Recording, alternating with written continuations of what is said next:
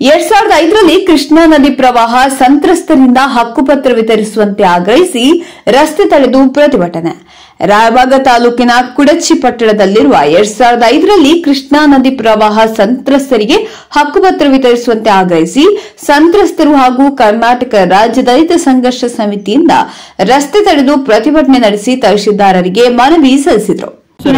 ಕರ್ನಾಟಕ ಸರ್ಕಾರ, ಮಾನ್ಯ ಕಂದಾಯ ಸಚಿವರು, ಕರ್ನಾಟಕ ಸರ್ಕಾರ, ವಿಷಯ ಎರಡು ಸಾವಿರದ ಐದು ಆರನೇ ಸಾಲಿನ ಕೃಷ್ಣಾ ನದಿ ತೀರದಲ್ಲಿ ಮುಳುಗಡೆ ಪ್ರದೇಶ ನೆರೆ ಸಂತ್ರಸ್ತರ ಕುಟುಂಬಗಳ ನಿರಾಶ್ರಿತ ಕಾಲನಿ ಜಮಖನ್ಯ ರಸ್ತೆ ಕುರ್ಚಿ ಇವರಿಗೆ ಹಕ್ಕುಪತ್ರ ಮತ್ತು ಮೂಲ ಸೌಕರ್ಯವನ್ನು ಒದಗಿಸುವ ಕುರಿತು ಮೇಲ್ಕಾಂಕ್ಷಿನ ವಿಷಯಕ್ಕೆ ಸಂಬಂಧಿಸಿದಂತೆ ದಿನಾಂಕ ಇಪ್ಪತ್ತೆರಡು ಆರು ಎರಡ್ ಸಾವಿರದ ಹದಿನಾರರಂದು ಜಿಲ್ಲಾಧಿಕಾರಿಗಳು ಬೆಳಗಾವಿ ಇವರ ಅಧ್ಯಕ್ಷತೆಯಲ್ಲಿ ಜರುಗಿದ ಪರಿಶಿಷ್ಟ ಜಾತಿ ಪರಿಶಿಷ್ಟ ವರ್ಗಗಳ ದೌರ್ಜನ್ಯ ನಿಯಂತ್ರಣ ನಿಯಮಗಳ ಅಧಿನಿಯಮ ಹತ್ತೊಂಬತ್ತು ನೂರ ತೊಂಬತ್ತೈದರ ನಿಯಮ ಹದಿನೇಳರ ರೀತಿ ಜಿಲ್ಲಾ ಜಾಗೃತ ಮತ್ತು ಉಸ್ತುವಾರಿ ಸಮಿತಿಯಲ್ಲಿ ಆದೇಶವನ್ನು ಮಾನ್ಯ ಜಿಲ್ಲಾಧಿಕಾರಿಗಳು ಆದೇಶಿರುತ್ತಾರೆ ಆದೇಶವಿದ್ದರೂ ಸಹಿತ ನಮ್ಮ ದೇಶದಲ್ಲಿ ಸ್ವತಂತ್ರ ಸಿಕ್ಕು ಒಪ್ಪತ್ತೈದು ವರ್ಷಗಳು ಗತಿಸಿದರು ಇನ್ನು ಆದರೂ ಮೂಲಭೂತ ಸೌಕರ್ಯಗಳ ಹಕ್ಕಿಗಾಗಿ ಹೋರಾಡತಕ್ಕಂಥ ಪರಿಸ್ಥಿತಿಯನ್ನು ನಿರ್ಮಾಣ ಮಾಡಿದ ಜನಪ್ರತಿನಿಧಿಗಳು ಕಾರ್ಯವೈಖರಿಗಳನ್ನು ಖಂಡಿಸಿ ಮತ್ತು ಮೂಲಭೂತ ಸೌಕರ್ಯಗಳ ಬೇಡಿಕೆಗಾಗಿ ಇವತ್ತು ನಾವು ಅನಿವಾರ್ಯವಾಗಿ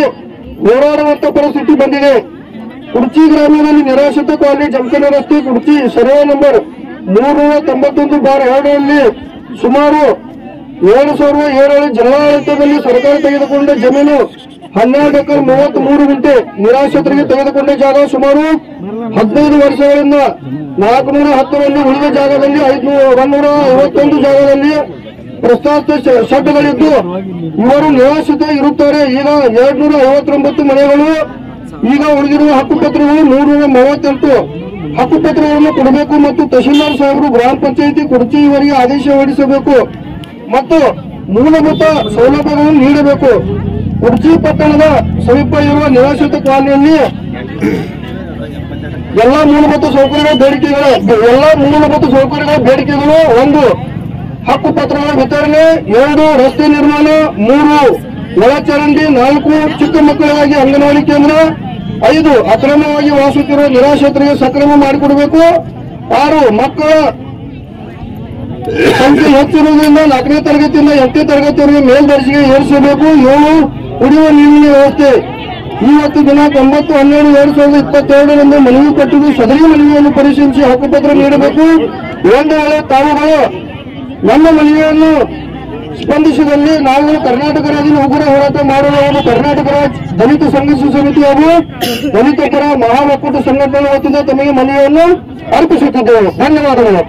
ರಾಯಬಾಗ ತಾಲೂಕಿನ ಕುಡಚಿ ಪಟ್ಟಣದ ಜಮಖಂಡಿ ರಸ್ತೆಗೆ ಎರಡ್ ಸಾವಿರದ ಐದರಲ್ಲಿ ಕೃಷ್ಣಾ ನದಿ ಪ್ರವಾಹದಿಂದ ಕುಡಚಿ, ಶಿರಗೂರ ಹಾಗೂ ಗುಂಡವಾಡ ಗ್ರಾಮದ ಮನೆಮಟ್ಟ ಕಳೆದುಕೊಂಡ ಇನ್ನೂರ ಐವತ್ತೊಂಬತ್ತು ಸಂತ್ರಸ್ತ ಕುಟುಂಬಗಳಿಗೆ ಸರ್ಕಾರ ಸುಮಾರು ಹನ್ನೊಂದು ಪಾಯಿಂಟ್ ಮೂರು ಸೊನ್ನೆ ಎಕರೆ ಖಾಸಗಿ ಜಮೀನನ್ನು ಖರೀದಿಸಿ ಶೆಡ್ ನಿರ್ಮಾಣ ಮಾಡಿ ಆಶ್ರಯ ನೀಡಿತು ಸಂತ್ರಸ್ತರ ಮನವಿ ಮೇರೆಗೆ ಈ ಹಿಂದೆ ಎಪ್ಪತ್ತೆರಡು ಕುಟುಂಬಗಳಿಗೆ ಮಾತ್ರ ಹಕ್ಕುಪತ್ರ ವಿತರಣೆ ಮಾಡಿ ಕೈ ತೊಳೆದುಕೊಂಡಿದ್ದಾರೆ.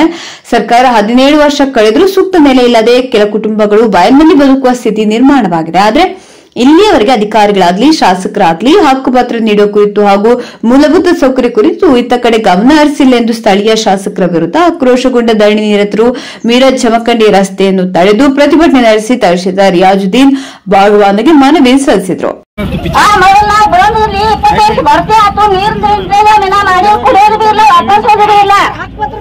ಮತ್ತ ಹಕ್ಕ ಪತ್ರ ನಾವು ಸುಟ್ಕೋತ್ ಮಾಡ್ಕೋತ ಬ್ಯಾಸಿಗೆ ನಮಗ್ ಕುಂಡಕ್ ಆಗಂಗಿಲ್ರಿ ದುಡ್ಡು ರೊಕ್ಕೆಲ್ಲ ದವಾಖಾನೆಗೆ ಹೊಂಟಾವ ನಮ್ಮ ನೀವ ಏನ ಇದ ಮಾಡ್ಬಾರ್ರಿ ನಾ ಕಾಗದ ಕೊಡು ಕೊಡಬೇಡ್ರಿ ನೀವು ಕೊಡು ಕೊಡುವಾರಿ ಹಕ್ಕ ಪತ್ರ ನಮಗ್ ಕೊಡ್ಬೇಕು ನಮಗ್ ಬಾಳ ತ್ರಾಸ ಆಗೈತ್ರಿ ಪತ್ರದಾಗ ಬೇಕೇ ಬೇಕು ರಕ್ತವನ್ನು ಚೆಲ್ಲುತ್ತೇವೆ.